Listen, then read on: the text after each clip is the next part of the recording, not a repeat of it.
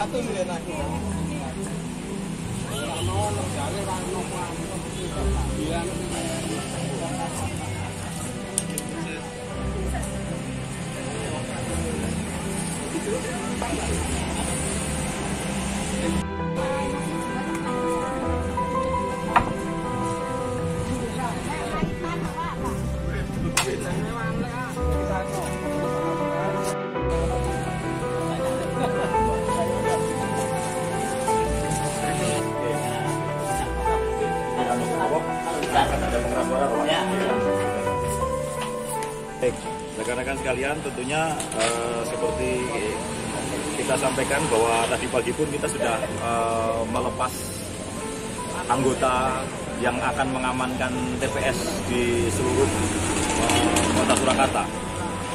Komposisi anggota yang sudah kita bekali dengan kelengkapan lapangan, kemudian termasuk bekal kesehatan, eh, langsung pagi hari ini diterima oleh masing-masing Kapolsek dan disalurkan ke masing-masing TPS dan pergeseran-pergeseran logistik pun juga telah dilakukan. Artinya insya Allah sampai dengan detik ini kesiapan dari mulai logistik tidak ada kekurangan. Eh, sudah kita geser dari gudang KPU untuk menuju eh, ke PPK untuk persiapan besok ke TPS masing-masing. Dan saat ini saya dari bagian pengecekan saya, saya berada di eh, TPS 34 di Manahan.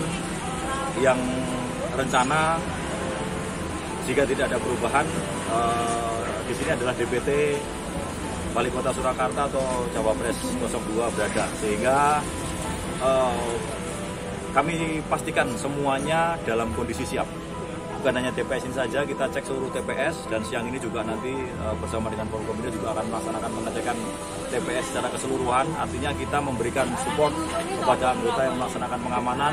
Kita juga memastikan bahwa seluruhnya siap untuk melaksanakan eh, tugas besok untuk memfasilitasi warga yang akan menyalurkan suaranya di TPS dan kita lihat sampai dengan TNI Polri menyiapkan langkah-langkah untuk mengantisipasi hal-hal yang tidak diinginkan terjadi. Bukan hanya di TPS 34 saja, di seluruhnya.